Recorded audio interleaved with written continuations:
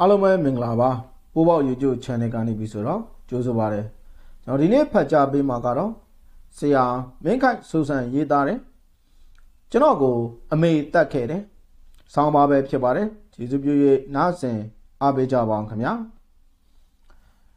ကျွန်တော်ကိုအမေတတ်ခဲ့တယ်အပြင်မှာမိုးတွေရွာနေတယ်ပြင်းပေါက်ကနေလမ်းကြည့်လိုက်တော့ဣတိရှကိုလိုနီခေတ်လက်ရာ ခေါမိုးနီနီနဲ့စာတန်ကြောင်းကြီးတစ်ကြောင်းကိုလမ်းမြင်နေရတယ်။အုတ်ွက်တွေဖော်ထားပြီးအမိုးချုံနှစ်ခုအပြိုင်ထိုးတော့အပြိုင်ထောင်းတက်နေတယ်။ခရီးယန်ဖရားရှိခိုးကြောင်းကိုလည်းမြင်နေရတယ်။အရာရာတိုင်းဟာမိုးရီမိုးဆက်တွေကြားမှာမှုံဝါးဝါးပါပဲ။မိုးရဲ့မိုးရီမိုးဆက်မှုံလေးများကပြတင်းပေါက်မှာတက်ဆင်ထားတယ်။တရုတ်ကမှန်ချက်လေးတွေကြားမှာလွင့်ဝဲပြီး ကျွန်တော်စာရေးစာဘက်ပေါ်ကရေးလက်စစာရွက်ပေါ်ကြလာတယ်ကျွန်တော်နေရာမရွှေ့မိဘူးဒီအတိုင်းထိုင်နေပြတုံးမယ်ပုံတရံမပြက်တင်းနေတဲ့ကြောင်တကောင်လုံးကိုကိုကိုခံစားနေရတယ်တရားရောက်ကကျွန်တော်ကိုမြည်ချင်းနဲ့မြုပ်ပစ်လိုက်တင်နေပြီမိုးကတော့ရွာနေတော့မယ်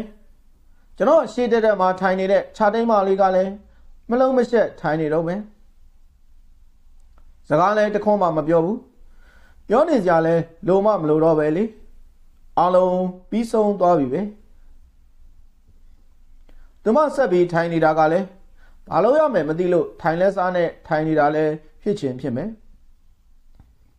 ဒါမှမဟုတ်ကျွန်တော်လိုပဲသူမကိုယ်တိုင်သူမကြောင်သေးတကောင်လိုခံစားနေရလဲဖြစ်ချင်းဖြစ်မယ်ကျွန်တော်ဘယ်သိနိုင်မှမလဲ ချစ်သူချင်းချင်းတယောက်ရင်ထဲမှာတယောက်ဘာရှိသလဲဆိုတာကိုတယောက်ကသိတယ်ဆိုတာအလကားပဲမသိဘူးတကယ်ဆိုရင်အခုကျွန်တော်ဇပွဲကိုတပွဲပွဲကြနေတဲ့မိုးဆက်မိုးပွင့်တွေဟာမသိဘူးမိုးဆက်တွေပဲမုတ်တုံလေးထဲမှာရင်းရွက်နေတဲ့တည့်ရစိန်တွေဟာလည်းမသိဘူးတည့်ရက်တွေပဲအခန်းတန်ရန်အခန်းတန်ရန်အောက်ခြေဆက်မှာပရိတ်စိတ်တွေခြိသွားနေတယ် ထမင်းလုံးလေးတွေဟာလည်းမသိဘူးထမင်းလုံးတွေပဲတိတိဆိုင်ငိုဆိုင်နေတဲ့ကျွန်တော်ချစ်သူရဲ့ဘားပြင်မော်ကမျက်ရည်စတွေမချောက်တချောက်ဟာလည်းမသိဘူးမျက်ရည်စတွေပါပဲဘာဖြစ်လို့မသိခြင်းတွေဟာညောင်းရည်လိုရှန်နေရတာလဲတကယ်ဆိုရင်အားလုံးသိပြီးသားတွေပဲမဟုတ်လားတစ်ချိန်ချိန်မှာဒီလိုနေ့ရက်မျိုးရောက်လာမယ်ဆိုတာကျွန်တော်တို့နှစ်ယောက်လုံးအသေးချာသိထားခဲ့ပါတယ်သူမကတော့ ဦးသမီးနဲ့ဦးလက်ထပ်ကြစို့နော်ဒီလိုပြောတော့ကျွန်တော်ခေါင်းခါပြလိုက်တယ်ကျွန်တော်သူ့ကိုလက်ထပ်မှာမဟုတ်ဘူးဆိုတော့ဟိုးအစကတည်းကသူမသိထားခဲ့ပြီးသားပဲဒါစိတ်မချမ်းသာစရာကိစ္စတစ်ခုပါလက်ထပ်ဖို့ညှင်းဆန်နေဆိုရတာဟာပြောပါတယ်ဒီလိုနာကျင်စရာကောင်းတာတွေဖြစ်လာမှာဆိုလို့ကျွန်တော်သူမကိုဝေးဝေးမှာရွှေ့ထားကြည့်ဖို့ကြိုးစားခဲ့သေးတယ် သူမကလက်မခံဘူးအသက်ချင်း15နှစ်တောင်กว่าတာကိုအကြောင်းပြုပြီးတူမလေးတယောက်လိုကလေးငယ်တယောက်လိုသဘောထားဖို့လဲစိတ်ကိုဖျားယောင်းကြည့်သေးတယ်ဒါလည်းအချိန်ကာလတစ်ခုထိပဲခံတယ်နောက်ဆုံးကျွန်တော်ဟာဘယ်မင်းကလေးတူကိုမှလက်ထပ်မှာမဟုတ်တဲ့ကြောင့်အများသူငါလိုပုံမှန်ဖြစ်မှာမဟုတ်တဲ့ဘဝမျိုးနဲ့နေထိုင်သွားမဲ့လူဆိုတာနားလည်အောင်ရှင်းပြယူရတယ် အဲ့ဒီလေလို့တော့လဲနားလဲသွားသလိုလိုစီချသွားသလိုလိုနဲ့နောက်ဆုံးဒုံရင်ဒုံရင်ပဲတရက်လာတာလမ်းမှာညရိုးပေါင်းစီချက်နဲ့ကော်ရီခေါက်ဆွဲသွားစားကြတာပလက်ဖောင်းလမ်းအတိုင်းလမ်းလျှောက်ပြန်လာနေတော့သူမကပါစိတ်ကူးပေါက်သွားတယ်မသိဘူးမြုံဆိုကျွန်တော်လက်မောင်းကိုဆွဲဖက်ချိတ်လိုက်ပြီးလမ်းလျှောက်ရင်ရီးလေးခုန်နေလိုက်တယ်တခက်ခက်ရဲလို့ ဒီလိုနဲ့သူမနဲ့ကျွန်တော်ချစ်သူတွေဖြစ်သွားကြတယ်ချစ်သူဖြစ်လို့သုံးလေးနှစ်ကြာတော့သူမိဘတွေကမေးရောမလိမ်မညာတတ်တဲ့သူမကလည်းအမှန်တိုင်းပြောပြပါလိုက်ပါတယ်ပေါ့ဒါနဲ့ကျွန်တော်ကိုခေါ်တွေ့တယ်သူမိဘတွေကရိုးရိုးအေးအေးလူကြီးလူကောင်းတွေပါပတ်စံချမ်းသာပေမဲ့ခက်အေးအေးပဲသူတို့ရဲ့သမီးနဲ့ကျွန်တော်အသက်15နှစ်တောင်ကွာဟနေတဲ့ကိစ္စကိုလည်းဘာမှမဝေဖန်ဘူး ဘယ်တော့လောက်လက်ထက်ကြမလဲလို့မှန်းထားလဲလို့မေးတယ်အဲ့ဒီတခွန်ပဲမေးတယ်အဲ့ဒီတခွန်ဟာပြဿနာပဲထင်တဲ့အတိုင်းပဲနောက်6လောက်လောက်ကြာတော့တမစီကလက်ထပ်ကြရအောင်ဆိုတဲ့စကားသံထွက်လာတယ်ကျွန်တော်ကောင်းခါရတာပေါ့သူမကကျွန်တော်တို့ချစ်သူဖြစ်သွားကြပြီဆိုရင်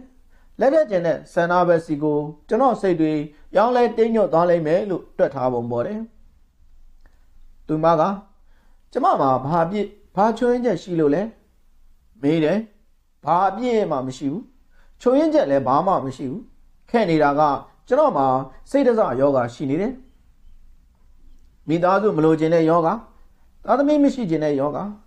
အဖေတယောက်မဖြစ်ချင်တဲ့ယောဂပါကျွန်တော်ဘယ်လိုရှင်းပြရမလဲ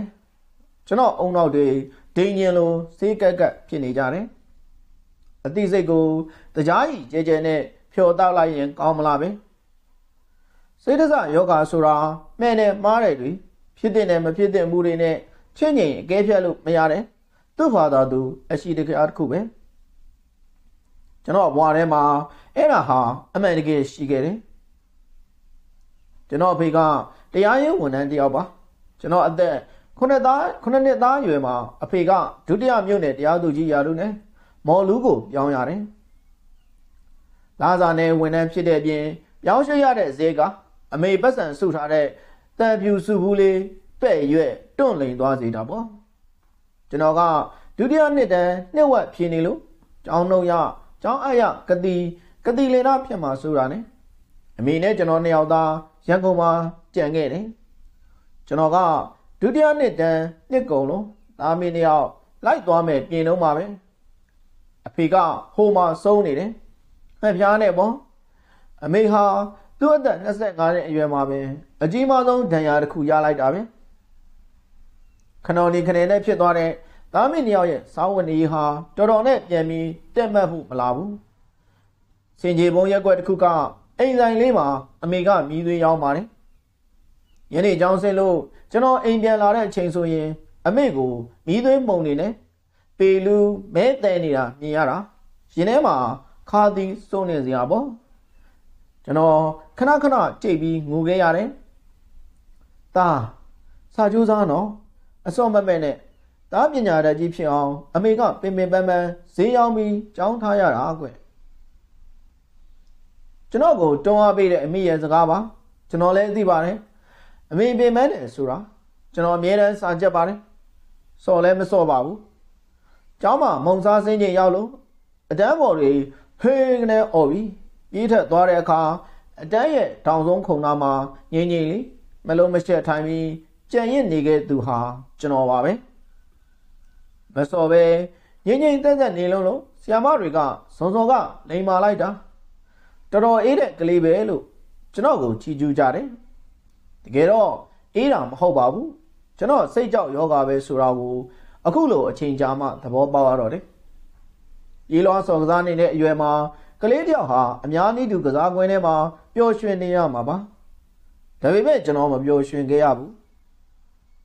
ငါပျော်ရွှင်နေရင်အမေပေါ်မတရားရကြတော့မယ်ဆိုတဲ့အတွေးစိုးကြီးကကျွန်တော်ဥကောင်းထဲမှာတစ်ချိန်လုံးရှိနေတယ်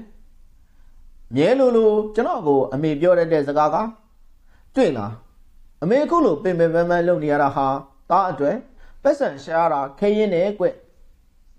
သားကိုကြောင်းထားလို့ရအောင်အမိမှာမနေဖြစ်ညစ်ရုံးကန်နေရတာ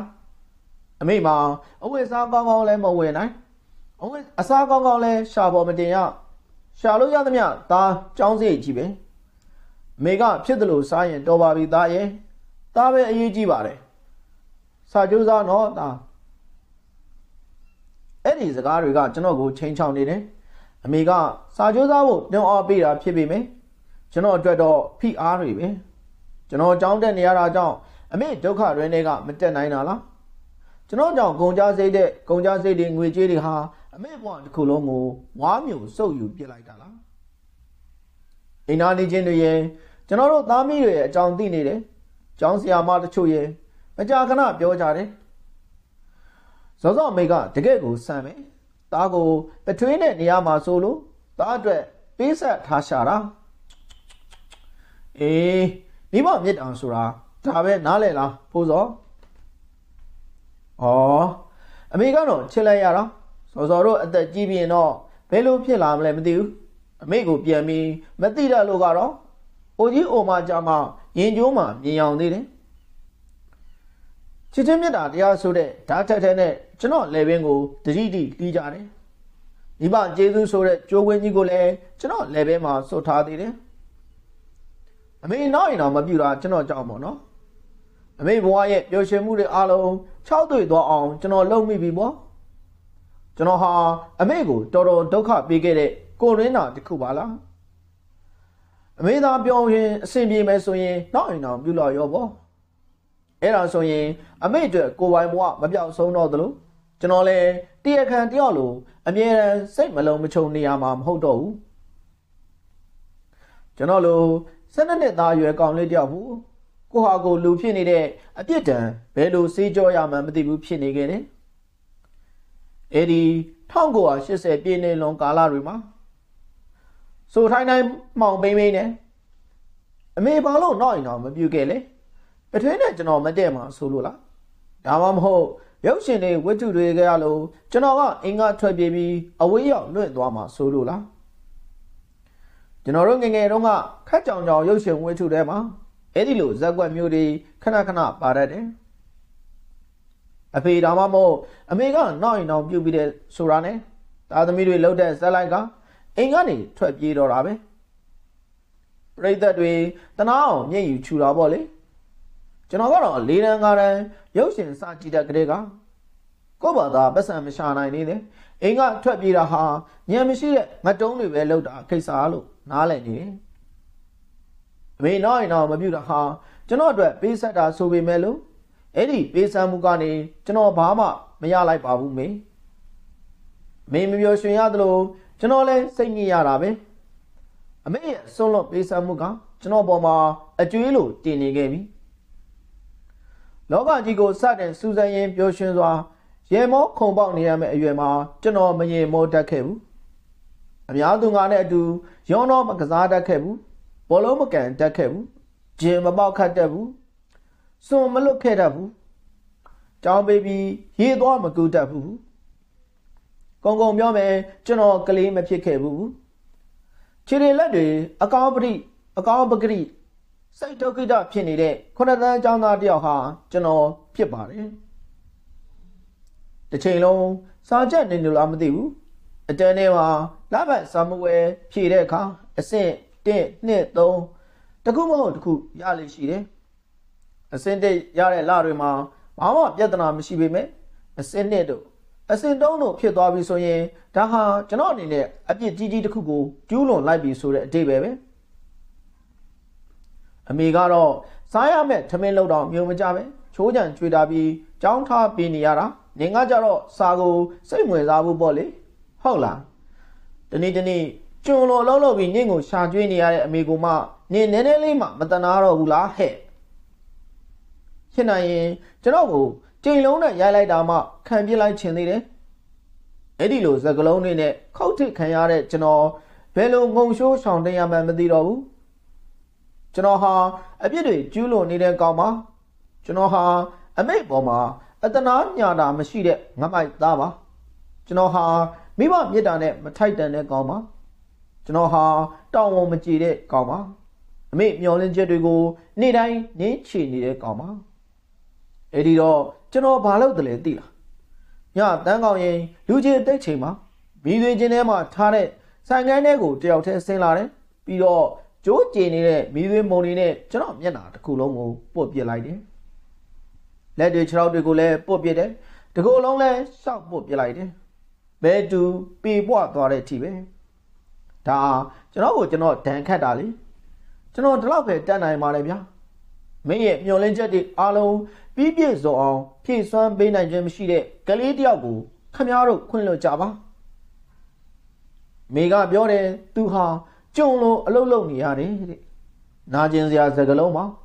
အဲ့ဒီကြုံဆိုတဲ့စကလုံးကို အမေရဲ့မိခင်အဖွားကခဏခဏပြောလုံးလို့ကျွန်တော်ကြားဘူးပါတယ်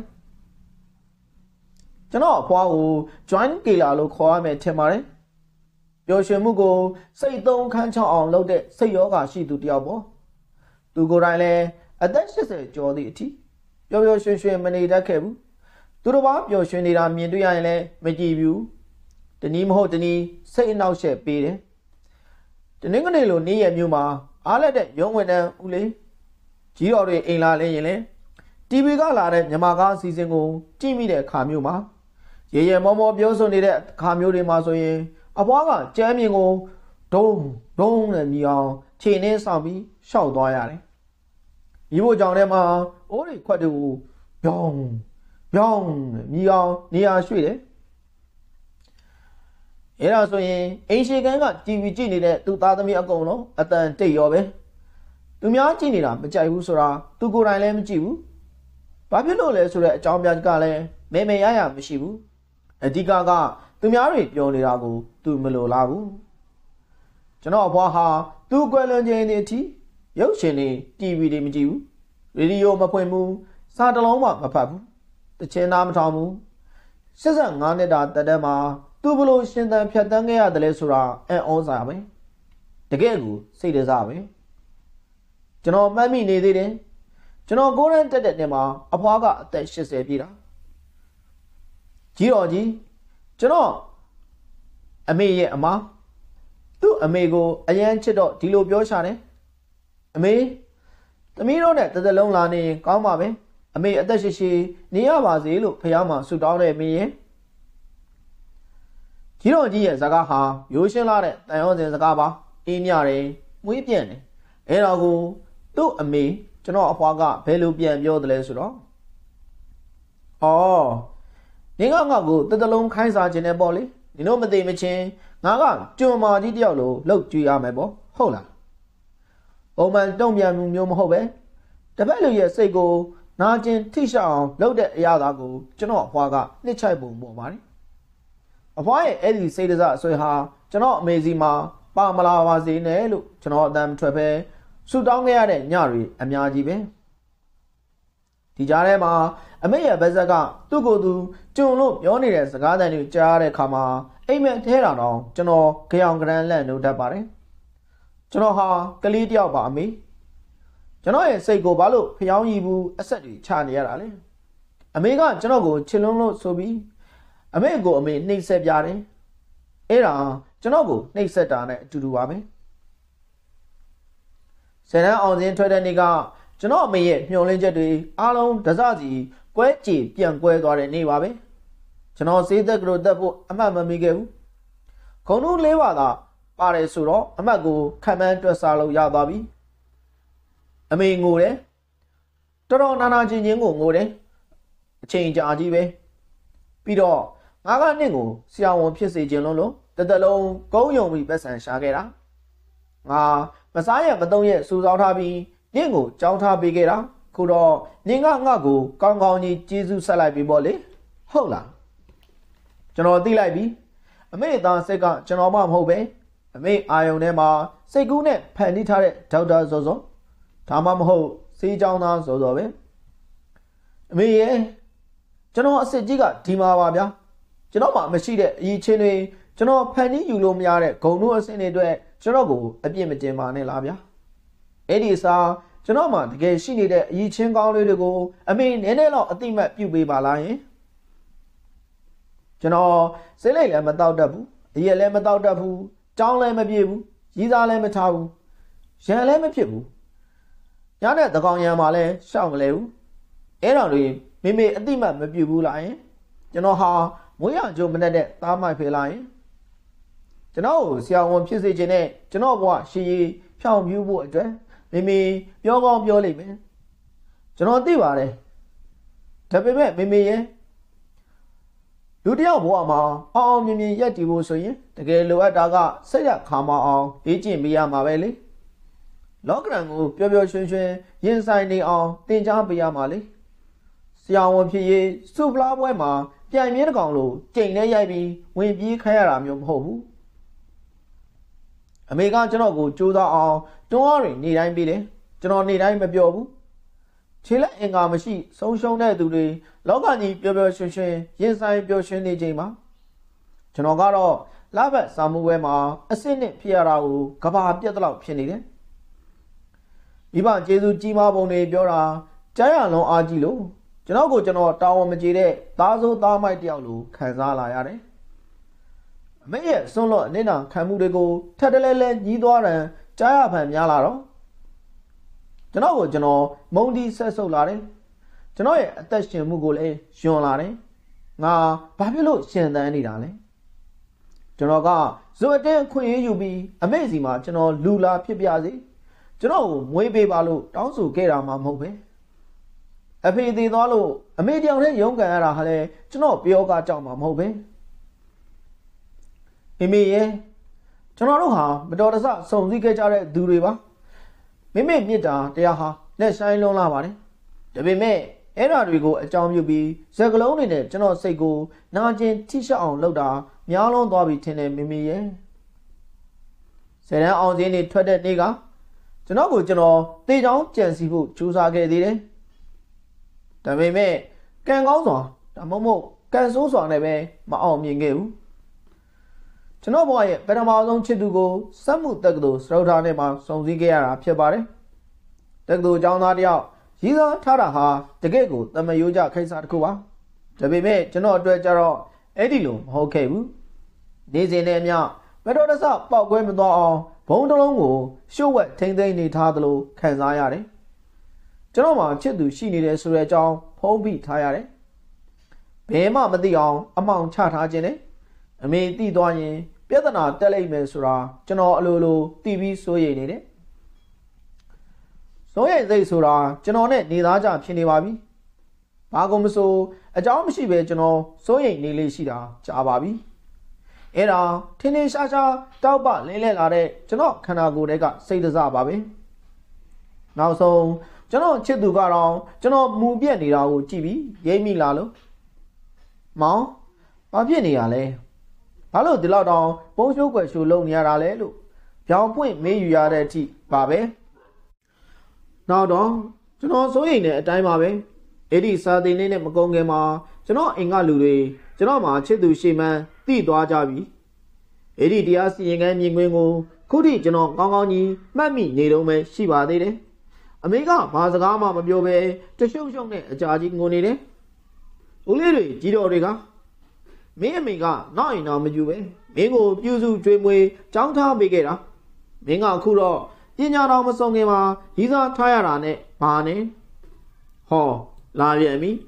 ကျွန်တော်မေနောက်ရင်တော့မပြုတဲ့ကိစ္စဒါဟာသူတို့အတွက်တေချာပေါက်နိုင်ပဲဖြစ်ခဲ့တယ်ကျွန်တော်အတွက်တေချာပေါက်ကျေးဇူးကျွေးဖြစ်ခဲ့တယ်ကျွန်တော်မေဖြစ်ခဲ့တာတွေဟာကျွန်တော်အတွက်ဖြစ်ခဲ့တယ် နောက်တနေ့မှာပဲချစ်သူကိုကျွန်တော်လမ်းခွဲခဲ့ပါတော့တယ်ကျမမှာဘာချွင်ချက်ရှိလို့လဲတဲ့တပတ်သက်လမ်းခွဲခြင်းခံရတဲ့ချစ်သူကမကြည်မနှက်နဲ့ကျွန်တော်ကိုမေးတယ်မင်းမှာဘာချွင်ချက်မှမရှိပါဘူးငါမှာတော့စိတ်ယောဂရှိတယ်ငါဘယ်တော့မှအိမ်တော်မပြုတော့ဘူးငါဘယ်တော့မှသားသမီးတယောက်ရဲ့အဖေမလုပ်တော့ဘူးတစုံတယောက်ကိုသူ့အလိုဆန္ဒမှာပါပဲလူလောကရဲ့ခေါ်ဆောင်လာပြီးမှ မင်းကိုငါချစ်တယ်ဒါကြောင့်မင်းငါအလိုဆန္ဒတိုင်းနေပြရမယ်လို့လည်းအကြက်မကိုင်းချင်ဘူးငါကမင်းအဖေမင်းကိုပြုစုပြုထောင်ခဲ့ရတယ်ဒါကြောင့်မင်းအပေါ်မှာငါကျေးဇူးရှိတယ်လို့လည်းအကြံမဖက်ချင်ဘူးကျွန်တော်ဘွားမှာရေဆိုင်ဖြတ်တန်းရမယ့်ခါသိမှုတွေကျွန်တော်ဝေစုပါဒါကိုကလေးတယောက်ပေါ်ပုံချပြီးဒါကြောင့်ဖေဖေဓာရီနာကျင်ခဲ့ရတယ်ဒါကြောင့်ဖေဖေဓာရီဆွန့်လွတ်ခဲ့ရတယ်လို့ သားသမီးတွေကိုစိတ်အနာတရားဖြစ်အောင်မလုပ်ချင်ဘူးအားလုံးဟာတယောက်ကိုတယောက်ဒဏ်ရာတွေပေးနေကြတာဟာရှုပ်တယ်ဥမကွန်းတိုင်းမကက်ဖြစ်အောင်တယောက်လက်ကိုတယောက်အပြန်အလှန်ကျိုးတုပ်ချီနှောင်ထားတဲ့မိသားစုဆိုတာကြီးကိုမလိုချင်တော့ဘူးကျွန်တော်အုံနောက်တီဟာအဲ့ဒီကလေးကစပြီးတင်းချင်းလုံးပုံမြက်ပန်းမြက်ဖြစ်သွားခဲ့တယ်တချို့လူတွေကဝေဖန်ကောင်းဝေဖန်ကြမယ် မင်းလိုမျိုးစဉ်းစားလို့ကတော့ကဘာမှာလူတွေဘယ်မှာမွေးဖွားလာကြမလဲလောကကြီးပျက်စီးသွားမှာပေါ့လို့ဟုတ်ပါတယ်ခမည်းတော်မှန်ပါတယ်ပုံမြက်ပန်းမြက်ဖြစ်နေတဲ့ကျွန်တော်တယောက်ထဲပါဒါပေမဲ့ဘာတက်နိုင်မှာလဲဗျာစိတ်ဒဇဆိုတာမင်းနာတွေမှားတာတွေနဲ့မဆိုင်ပဲသူ့ဘာသာသူ ရှိနေတဲ့အရှိတရားပဲလေကြောခိုင်းလဲထွက်ခါနီမှာချစ်သူကစကားတခုံးမဲ့ပြောသွားတယ် ရှင်အယူပဲလက်ဆက်သက်တော့ဥကညင်လေးနဲ့ကောက်နေတာကိုကျွန်တော်ရဲ့ချစ်လာစွာသောခြာတိတ်မလေးကနာနာကျင်ကျင်ကြီးသွားတယ်အယူတယောက်နဲ့ချစ်သူဖြစ်ရတာဇက်သိန်းလည်းမကောင်းဘူးဒါကြောင့်ဇက်သိန်းကမ်းမှာကျွန်တော်စကားမပြောဘဲနေလိုက်တယ်ဘယ်သူမှတရောမထိုးဘူးနောက်ခံတေဂီတာဖြင့်ဘင်းနာနာမည်ကြီးသချင်းကိုမှယူသုံးမထားဘူးမိုးရွာနေတန်တော့ရှိတယ်တကယ်လက်တွေဘွားရဲ့ အချစ်ဇက်သိန်းကမ်းဟာ6ကတ်တယ်တိတ်ဆိတ်တယ်ကျွန်တော်ကတော့ငြိမ်ငြိမ်လေးပဲထိုင်ပြဲထိုင်နေတော့မယ်သူမခန်းထဲကပြန်ထွက်သွားလို့တကားလက်ကင်ဖို့တော့ကြနေတယ် click ဆိုတဲ့အမည်တန်ကိုကြားရတော့ကိုကိုကိုတယောက်သေးပါလားဆိုတာတယောက်သေးဖြစ်တော့လေဒီအတိုင်းပဲအတော်လေးကြတော့မိုးတိတ်သွားတယ်ကျွန်တော်တိုက်ကန်းထဲကထွက်ပြီးအောက်ကိုဆင်းခဲ့တယ်ရင်အိုင်ကွက် ကွက်ငယ်လေးတွေတင်းကြံနေတဲ့လမ်းပေါ်မှာကျွန်တော်ငေးမောလို့ပေါ့ညနေကကျွန်တော်ကိုပြန်ကုန်ကြည့်တယ်လမ်းတဲ့စီကိုကျွန်တော်ရှောက်လာတော့ကျောင်းဆုံးချိန်နဲ့တိုးနေလို့ကလေးတွေလက်ပြက်ကူတာကိုစောင့်နေရသေးတယ်အဖြူစိမ့်ဝစ်စုံကလေးတွေနဲ့ကျောင်းကြိုကားတွေရှိရာကိုသွားနေကြတယ်မုံတယ်တွေစီကိုသွားနေကြတယ်လာဆောင်နေကြတဲ့သူတို့ရဲ့မိဘတွေစီကိုသွားနေကြတယ်ကျွန်တော်ရက်နေတဲ့ဘန်နာပင်သားမှာဖေဖြစ်တဲ့သူက သူသားခြာတဲ့လေးကိုပြောနေတယ်မင်းဘေးကောင်ကဖြိုးဝေကတင်ချာမှာတရားရတယ်ဆိုမင်းက89တဲ့မင်းကိုဖြိုးဝေချီကျွေးဖို့ပဲကောင်းတယ်အဆူခံနေရတဲ့ခြာတဲ့လေးကမျက်လုံးတွေကလဲကလဲနေသူ့ဖေကိုပြန်မော့ကြည့်တယ်။အော်ကလေးတွေရဲ့စိတ်ကိုအနာတရားဖြစ်အောင်လုပ်နေပြန်ပြီပေါ့လို့ကျွန်တော်တွေးလိုက်တယ်။အဲ့ဒီလူဟာကိုယ့်လက်ထဲမှာပွင့်နေတဲ့ပန်းကို ဘာမှမမသိအောင်မကြိုးစားခြင်းဘူး။အလကားလူကိုယ့်လက်ထဲမှာစပယ်ပွင့်လေးမွေးမွေးဖြူစင်နေပါလျက်နဲ့။မင်းကဘာလို့အယောင်မနေတာလဲ။မင်းမှာဘာလို့စူးတွေမပါရတာလဲ။မင်းကိုနှင်းစီပန်းရဲ့ချီကျွေးဖို့ကောင်းတယ်လို့စူဖို့မှန်မဲနေတယ်ကလေးအတွက်ရောအဖေလို့သူအတွက်ပါကျွန်တော်ရိုးရိုးသားသားဝမ်းနေနေမိတယ်လမ်းမပေါ်မှာအပြူအစိမ့်နေတဲ့ကလေးတွေထွက်လာကြပြီ သူတို့ပျော်ရွှင်ခုန်ပေါက်မနေကြဘူးသူတို့စူညံမြူးတူးမနေကြဘူးသူတို့တေဆုံးနေကြပါတယ်ကလေးတွေဟာအသက်မဲ့လျက်သားလမ်းဆောင်နေကြတယ်သူတို့ရဲ့နှလုံးသားတဲ့တဲ့မှာမိဘတွေရဲ့တောင်းဆိုမှုကြည်စံရာတွေနဲ့မင်းခိုင်ဆိုစံအားလုံးပဲနားဆင်ပေးကြတာကျေးဇူးတင်ပါတယ်ခင်ဗျာကျွန်တော်တို့ရဲ့ဖတ်ကြားမှုကိုဒီမှာပဲခိတ္တခဏရန်နာခွင့်ပြုပါခင်ဗျာ